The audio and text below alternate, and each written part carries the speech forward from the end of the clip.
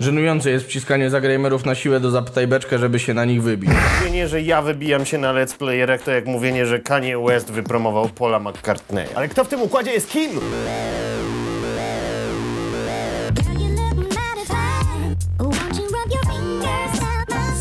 Dzień dobry, nazywam się PewDiePie. Witam w najnowszym odcinku Zapytaj Beczkę. Czas na naszą piosenkę. Another dick is coming. Mały szary człowiek. Tylko 301 internautów zobaczyło poprzedni odcinek, ale opinia była jednogłośna. Te 301 osób na pewno subskrybuje ten kanał. Jeśli ty nie subskrybujesz, to naciśnij ten przycisk. Zaczynajmy. Konkers bonkers. Krzysiu Midasem polskiej sceny YouTube'a. Żeby być YouTuberem trzeba się nadotykać trochę gówn. Jak to jest z tym poczuciem humoru w Azji? Czy to prawda, że Azjaci są zdecydowanie oszczędniejsi w uśmiechaniu się niż Europejczycy Amerykanie? Pozdrawiamy! To nie jest prawda, Japończycy ryją cały czas. Ostatnio natomiast poznałem Amerykanina, który uświadomił mi, jak upiorne jest śmianie się bez uśmiechania się.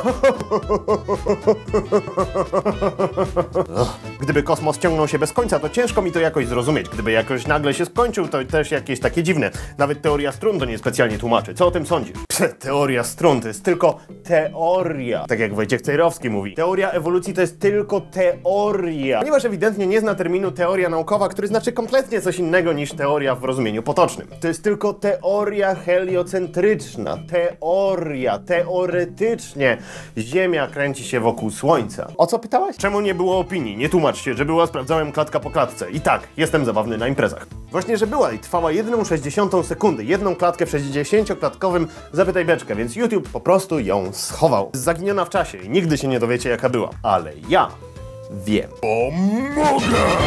Jesteś zabawny na imprezach. Pewnie na tych, na których są dziewczyny. Bo męskie myślenie jest takie, że nawet jak jesteś w związku, idziesz na imprezę, to może coś się wydarzy. Co? Co? Przyznajcie to sami przed sobą. Agnieszka Szulim robi program o Japonii. Mindfuck. Mindfuck. Mind, mind, mindfuck. Ta heheszkowa nazwa, szalone Tokio. Serio, kolejne stereotypy i zapychanie jakimś szajsem mózgów zwykłych, szarych ludzi. Polsko robisz to źle. Wszystko w Japonii kręci się wokół seksu.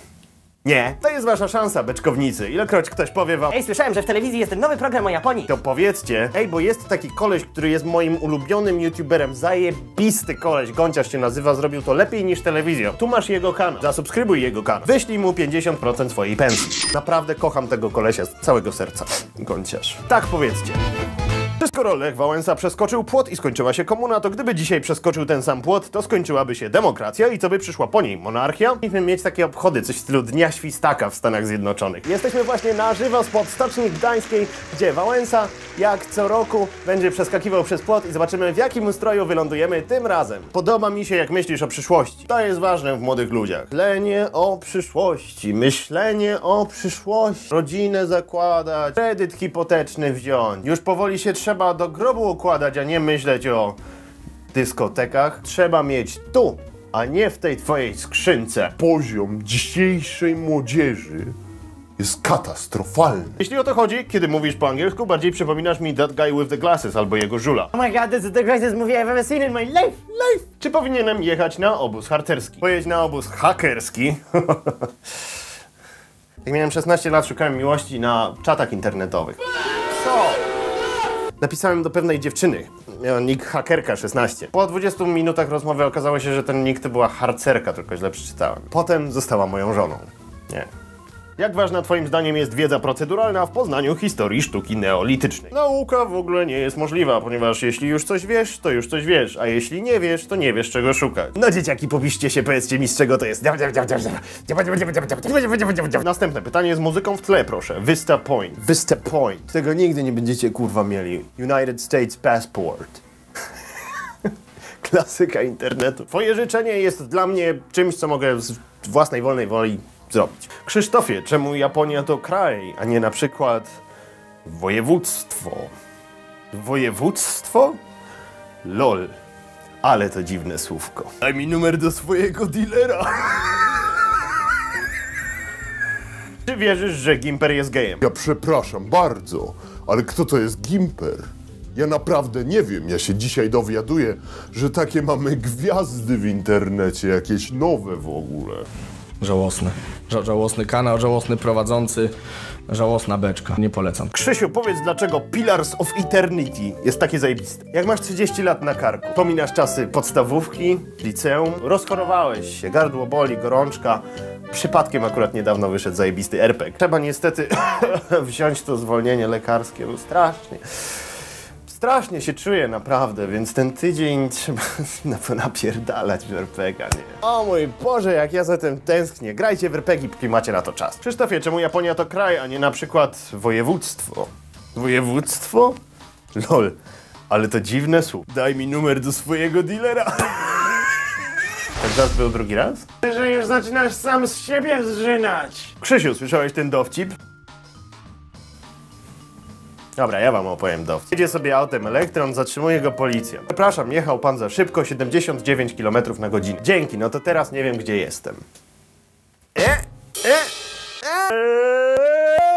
Cebulo. Krzysztofie, jak w kulturalny sposób wytłumaczyć znajomym, że muzyka disco polo jest po prostu chujowa? Przypierdol im. Uważaj na to, co mówisz o muzyce. Również na rzeczy, które lubisz. Potem się okaże, że po 10 latach wrócisz do ulubionego zespołu i okaże się, że jest gówniany. Jak na przykład Pink Floyd.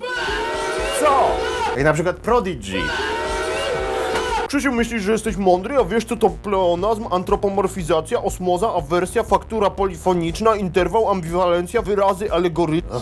Wy zróbcie sobie test i rezultaty wpiszcie w komentarzach. Nowoczesny, interaktywny film na YouTubie trzeba angażować społeczność. A co wy myślicie? Dajcie znać w komentarzach. Pamiętajcie, żeby udostępnić ten filmik znajomym. Krzysiu, jak zmasakrować lewaka. Robimy teraz interaktywne wideo. Tutaj macie dwa żarty, lewacki i prawacki. Wybierzcie.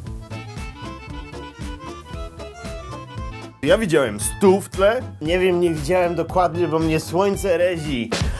Czemu przeprowadziłeś się do Japonii? PS, twoje klipy są po prostu zajebiste. Moje klipy, no to jest klasa sama w sobie. Co to takie światło ten? A co, trochę cię Rej. Krzysztof jakiś czas temu Max Kolonko powiedział, że w Polsce przydałby się dyktator. Może jak powiedziałem, pana Kolonko specjalnie nie lubię, to akurat z tym stwierdzeniem muszę się zgodzić. Czy uważasz, że jest realne, żeby ktoś jeszcze doszedł do takiej władzy w Polsce, jaką miał na przykład Piłsudski? Ja myślę, że Wardęga by się świetnie sprawdził. Przede wszystkim koniec mandatów za picie piwka w miejscu publicznym. Człowiek chce się napić piwka i nie może. I koniec policjantów, którzy rozmawiają o seksie, kiedy są zaczepieni rozmową o seksie. Ty z tym też skończymy. A co dalej zapytacie? Nie wiem, możemy pić pi- browary na, na polu, to... Pamiętajcie o subskrypcjach, przecież stamtąd przyszliśmy. Z okazji zbliżających się świąt wielkanocnych chciałem wam życzyć z Japonii wszystkiego najlepszego. Tutaj Wielkanocy nie ma absolutnie w ogóle, więc co robi prawdziwy beszko- beczkownik? Robi zdjęcie ćwikły i śledzia z cebulką.